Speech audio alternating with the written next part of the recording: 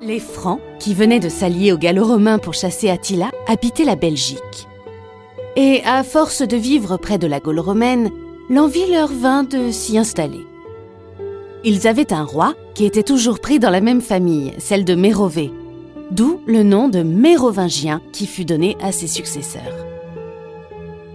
Le petit-fils de Mérové s'appelait Clovis, et c'est lui qui fonda le premier royaume de France. À la mort de Clovis, ses fils se partagèrent son royaume.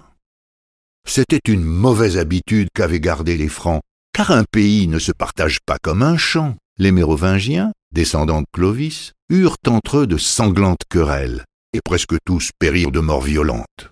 La France eut pourtant un bon roi, dont le souvenir ne s'est pas perdu et qui s'appelait Dagobert.